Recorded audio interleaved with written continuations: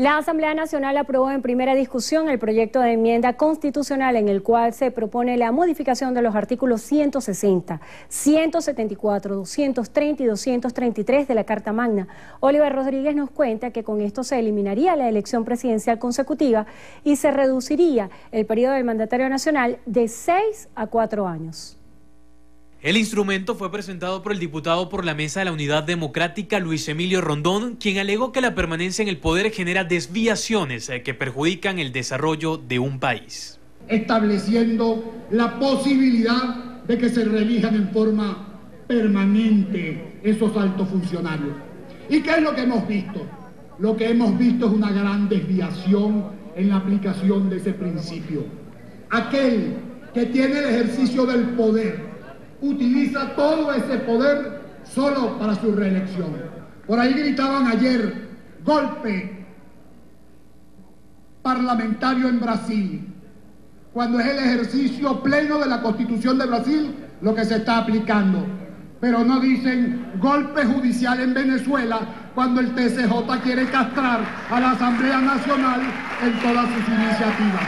Señores, esta enmienda va el referendo revocatorio también va, van las dos cosas porque estamos corrigiendo distorsiones constitucionales y el pueblo soberano es el que va a decidir si esto es constitucional o no. Es el pueblo y a ese órgano, a los órganos del poder público que se somete el mismo pueblo. Y el pueblo va a decidir si es correcta la enmienda, si es incorrecta la enmienda, la aprobará y la ratificará por el referendo popular. Mientras tanto, el llamado bloque de la patria salvó su voto ante lo que calificó como un adefesio de propuesta, pues los diputados consideran que con esto se busca desmantelar la sala constitucional del Tribunal Supremo de Justicia. Nicolás Maduro. Ese es realmente el problema de ustedes, que lo van a tener ahí hasta el 2019. Ese es el problema de ustedes. ¿Y cuándo? ¿Y cuándo? Para presentar, para presentar este proyecto de enmienda que es un proyecto para enmendar la constitución. Quien lo hace nombra diez veces a Nicolás Maduro, esta es una enmienda obsesiva ya, esta es una obsesión.